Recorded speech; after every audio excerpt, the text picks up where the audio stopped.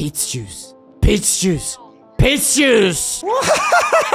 Hello, people. Welcome in or welcome back. My name is Pete, but you guys can call me Pete. And since you guys enjoyed so much of the Crow video, which you all know it's bad, but you guys should check the video because I told you guys the story.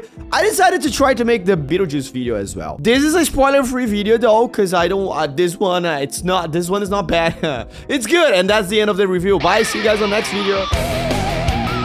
It's good, and I don't want you guys to, to miss it, alright? So we're gonna be talking about the Beetlejuice. Beetlejuice. First things first, it's good. I feel that like Beetlejuice, Beetlejuice comes with a, a wave of a lot of dark and important for the gothic subculture things that are happening right now. We got The Crow, which is bad, but it's part, uh, it was, it's part of our subculture. We got Nosferatu coming out very soon, right? Which also, I also should react to the trailer. We're probably gonna do that.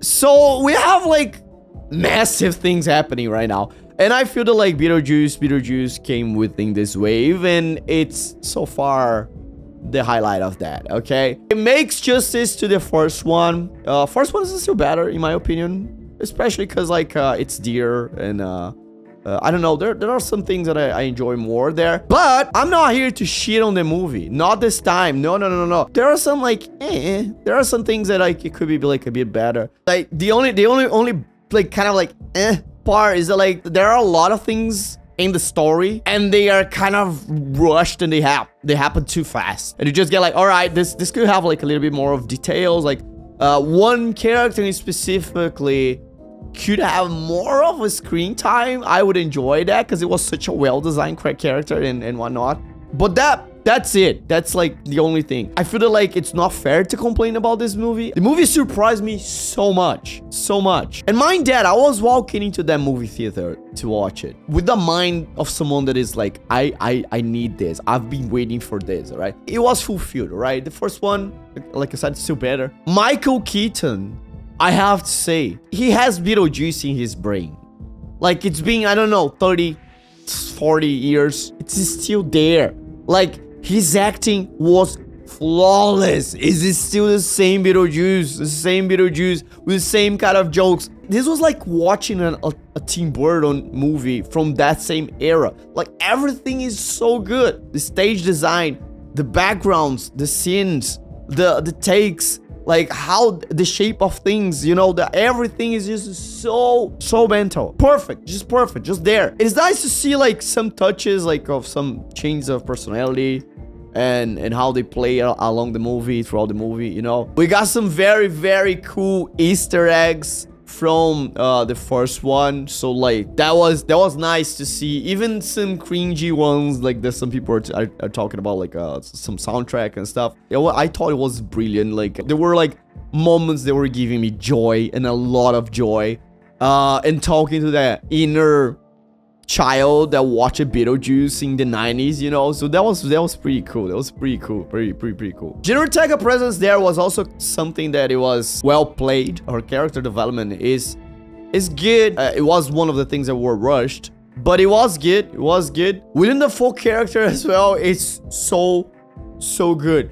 I don't know. I'm a huge fan of Willem Dafoe already.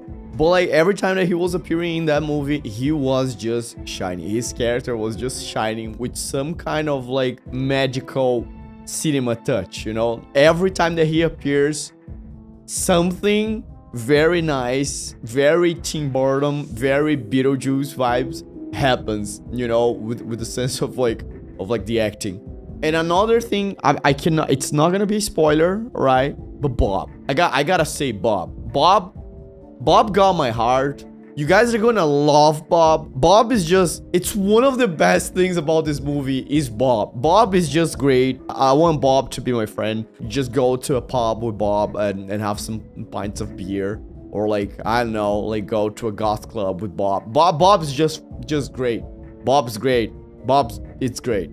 He's great. The ending wasn't brilliant, but it wasn't bad. So I would say that the ending was like, I don't know, like six and a half, 6.57 out of 10. Uh, I would say that like this is one movie of one hour and 45 minutes and, and, you're gonna enjoy that. You're gonna enjoy that. If you enjoy the first Beetlejuice, you're gonna enjoy that one, all right? It just takes you back. It, it's impossible. Like the atmosphere of everything is just like the same. It's, it's just like, oh my God. I want to watch it again, all right? On contrary to what happened to The Crow that I will never see that I, I feel like it was very nice to see how creative Tim Burton and the whole team were with this movie. It, it's just great. It's it talks to you. Uh, if you if you have like Beetlejuice engraved engraved in you, it, it's gonna talk to you and you're gonna have a good time. Uh, soundtrack, acting, uh, visually, everything, everything, and the Easter eggs. I, I promise you, they're gonna take you back. Okay, they're gonna take you back. Uh, that's it, guys.